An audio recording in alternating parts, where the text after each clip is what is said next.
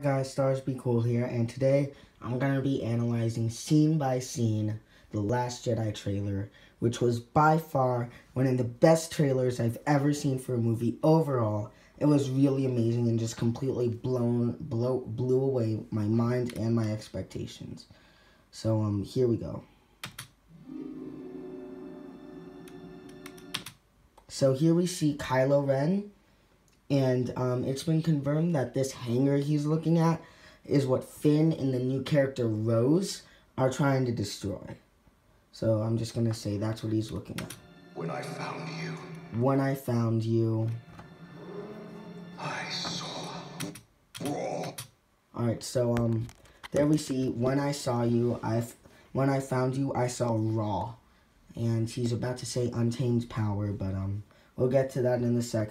Just a funny little joke. These things, those little ridges, are probably a reference to how the last AT-AT, since these are kind of the old AT-ATs, were destroyed. And as you can see by the red dust, they're on that planet. I forgot what it's called. But, um, those aren't, um, those, it's not snow, it's like salt or something. Just basically, it's a planet with the red dust that we saw in the old trailer. So this is probably going to be like the Battle of Hoth. And you can see Kylo Ren, what looks like Kylo Ren's shuttle going down. So he's probably going to be here. Untamed power. See?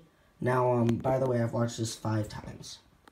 So, um, we see Kylo Ren surrounded by an army of stormtroopers in some weird area. Now, I don't feel like this is getting enough attention, but, um, is black and red. Probably, probably that planet we saw a couple seconds ago. Judging by the red and how I guess they have mines or something there. And here's Kylo grabbing his lightsaber. You can see, I forgot what they're called, but they're basically the new Royal Guard. Those things, if you don't remember, they were those two red guys by the Emperor in Return of the Jedi. These are basically the new version of it, and they're going to be like a samurai. So he's either super mad and is about to kill everyone, or possibly, since these are the Royal Guard, he's with Emperor Palpatine. Something truly special. Something truly special. So it's more than just power, which could be his relation to Luke and Leia. But is he truly talking to Kylo? Bam! We get hit by with Rey with a with Luke's lightsaber. Now, I personally believe Snoke is talking to Rey for reasons I'll expand upon later. But as you can see, she's on the island. She's um holding the lightsaber, and this is my favorite scene. Uh, not Lucasfilm. This is. Not that. Not that. I'm sorry. Right. We so here we see once again her handing Luke his lightsaber. But my god, the detail they put into this hand. Just look at every individual finger with all its gears and wires and springs. Not only does it look worn, but you can truly see the technology. And I'm pretty sure this is his old hand, just with the skin came off. Me has always been there. Something inside me has always been there. Once again, proving that Rey has some unknown power and that she is an ancestor of either Luke, Han, or or Palpatine. Some are saying Snoke, but more on that later. Alright, so you see her, she's seeing the Journal of the Whills, which are basically the codes of the Jedi. That's showing all their history. We once again see her fighting that the same scene in the old trailer. But so look, look, this is my favorite scene. It starts off kind of random. I didn't really like it, but then, bam, bam. That scene, I don't know why, but just the perfect filming that went into it. Just beautiful. I love that scene. That scene is amazing, and it shows the power within. Look, even Luke's freaked out by that power within. Just that spin. crack. That was amazing. Just I freak out over that every single time. It was so amazing. And then you see once again her lifting the rocks. I've seen this raw strength before.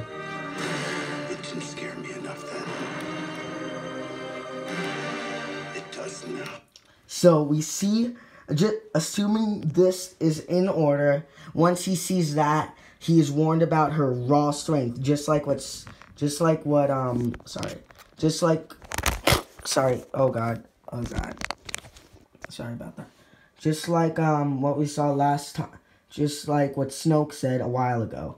So, we see, he said, I wasn't afraid of it then, talking about Kylo. I am now. A lot of people are saying this is the Emperor. I'm pretty sure it's obviously Kylo. Because, I mean, while he's talking, we see the Jedi Temple being burnt down. So, um, yep. He's most likely talking about Kylo. And he doesn't want what happened to Kylo to happen to Rey. So now he's most likely refusing to train her. As you can see by him walking away and the look on Rey's face of being denied tra- the training. God, that just went weird. Alright, you see Kylo Ren again with his helmet. And he's super mad. He's still being torn. And then we see he's fighting. You can see how, like, just completely unemotional. Just, he looks like a drone, which is just something cool. Now, this is most likely inspired by Darth Vader's TIE fighter. Kill the something about the past is stopping him. Kill them if you have to. Kill it if you have to. That's what he said. That's Admiral Ackbar back back there most likely. And here we see they're kind they're um they're trying that he's about to blow up Princess Leia's ship, most likely to try and get rid of the terror behind him. And we see this little kind of forced stare down, I'm guessing. Come when you were meant to be. And then, now that's the big question. Will he press the button? That is the big question. Will he press that button? What do I think? Honestly, I don't know. I think this is 50 50. I think this, there's a 50 50 chance of him pressing this button. I honestly have no idea. This is the first time I haven't leaned either way that I am, I am, I honestly am not sure at all. But, um, one thing, here's why I think I'm kind of mad if he does press the button. I do want, I don't want to believe that Kylo's turned good. I don't think this is the way. But, um, the fact that they reveal Princess Leia's death in a trailer, of course, due to Carrie Fisher's death, we do know she's gonna die. But this being the way and just revealing it in a trailer, after all they've hidden from us, the fact that they'd show us how Princess Leia dies, I think is extremely unlikely. So this Christmas, December 4th, 15th to be exact. Then we see the Millennium Falcon being thrown inside the mines of that planet with the red stuff. You you know what I'm talking. I'm just gonna call it salty red from now on because I don't know what it's called. They're doing the mo- they're the Millennium Falcon's being flown in salty red, and now one of my second favorite scenes. Right. All right. So there's Chewbacca and the Porg. I mean, I wasn't that big a fan of Porgs, but so so cute. Look at it. Its, its mouth is so scary, but it's so cute. Dick, dick. And Chewbacca's one of my favorite characters. So the fact that he and the Porg are gonna be hanging out, I got on Force Friday. You can. I'm not gonna go into it, but I got an official thing saying he's gonna be exploring the wildlife of the planet Raison, which is most, and the Porgs have been confirmed to live on that island. So, yep, that's adorable. Then we just see some ships blowing up. It'll light the fire. It'll burn the First Order down. So we got some Poe Dameron saying we got a spark that'll light the fire that'll burn the First Order down. Then we see Phasma and Finn. He's using it's one of those lightsaber things that those things that can like deflect lightsabers. A lot of people are wondering why the heck is he wearing a First Order uniform? Does he turn evil? No. The that it's not a question. No. it's been confirmed that he goes undercover with Rose. So it's not just a theory. No, he does not turn to the First Order. And I mean, even if that wasn't confirmed, if he turned, why the heck is he fighting Captain Phasma? And you can see the pure look of hatred, pure hatred in her eyes, or I guess her helmet to be more exact, due to the fact that, um, I guess they kind of tortured her and put her in the trash compactor. You don't see this in the movie, but it's been confirmed that it took quite a lot of torture before she gave up. She didn't just surrender just like that. So, yup, they fight. This is not. Now, um, we see BB-8 with like electricity being hit. Um, I mean, that could just be them saying, "Hey, BB-8's here," but I feel like electricity zapping him and him just kind of shaking it off. That's kind of a weird scene to put in a trailer. So I feel like there might be more to that. Maybe like he glitches out for a sec, and then we see Luke on the ground, probably or likely. I don't know. Just maybe when um the temple gets burnt down. Think. All right, so let me explain that. This isn't going to go the way you think. There are two possible things. This is him warning Rey that it's not what it used to be. This is going to be a lot harder. Basically, this is going to suck. Or it could be um him talking to Kylo saying your turn to the dark side isn't going to be as strong as you think. Then we see some ice dog things from once again big salty red and then we see Princess Leia and um, they're closing the hangars. This kind of reminds me of what happened in um, Hoth, where she's like, "Where's Han Solo?" But they close the hangars because I guess it's too cold or something. So yeah, Princess Leia's there again, and that brings us to where we are now. We see her swimming with Luke. Some training, and then we see Finn is undercover as one of those soldiers again. Then we see more of the battle. And here, now I'm pretty sure this kind of confirms that Snoke's talking to Rey because we see him finishing his sentence here. So, um, this, I don't think he's talk. So, this is why I think it's basically confirmed he's talking to Rey, not Kylo, because you see him talking. He's talking right now. You can see the facial movements. Alright, let me just rewind that a bit so you can see. Let me just. See, you can kind of see his mouth moving a little. So yes, that is Snoke talking, and as you can see, it's the same location. There's his golden robe. So yes, and by the way, so yes, he is in fact talking to Rey, in my opinion. And also, you can see he's kind of doing the same thing that Emperor did to Luke. Even the same phrase, "Fulfill your destiny." Then he um is I guess kind of force attacking Rey or something, which can be compared to the lightning. And now the big thing, the big thing that drove us- all insane. I need someone to show me my place in all this.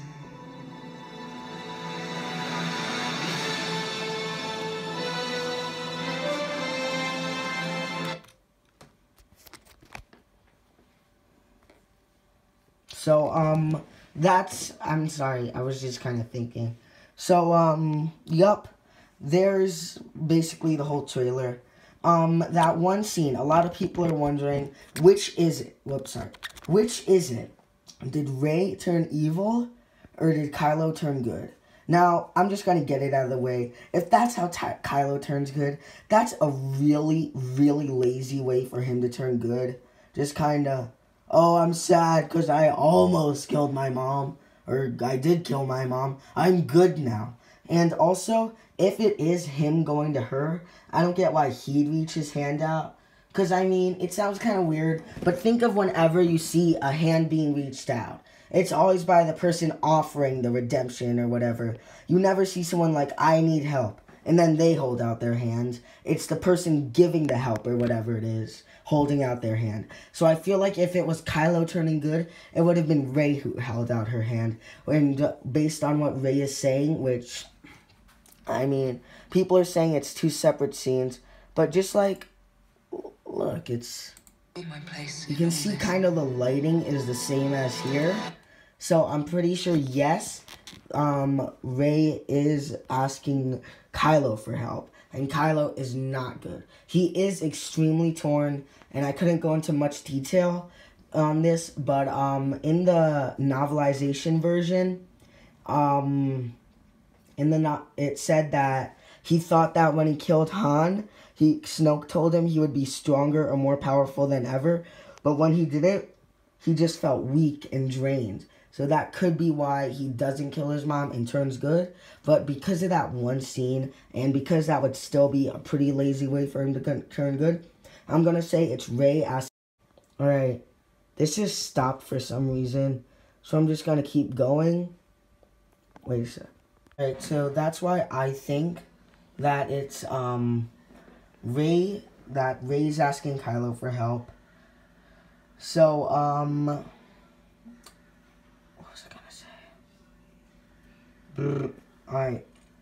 And also, I don't think she's turning evil, but she could possibly. Now, you may remember I thought it was evidence that Rey was that Rey was training that Rey was training that Rey was uh, the ancestor of the Emperor. I said the voice that was talking to her in the novelization, telling her to kill her. Um, see, check that video out. I'll put it in the end screen. Um, please, I think. Sorry, I just completely zoned out. I think um that it, I guess at some point it was confirmed that's actually Snoke talking to her, trying to pull what the Emperor did twice, first with Annie and Dooku, then with Luke and Darth Vader. So um yes, I do think most likely Rey it I don't think Rey's gonna turn evil though. I think she's just trying to find her place. Maybe a temporary kinda traitoring traitorous thing, but she is in no way going to turn into a Sith. Hmm, sorry about that. But, um, so I think that, yes, Rey is asking Kylo for help, but no, Kylo isn't turning good, and no, Rey isn't turning bad. So, um, thanks for watching. I'm pretty sure that's it. So, um, bye. Hi, guys. Remember to click all the links on your screen. One of them is for the, um, trailer. Another one's for that video I made on all the Jedi theories and stuff. Part 2 coming out soon. Also, remember to subscribe and icons there too. There's also the Star Wars channel and click the icon for different stuff.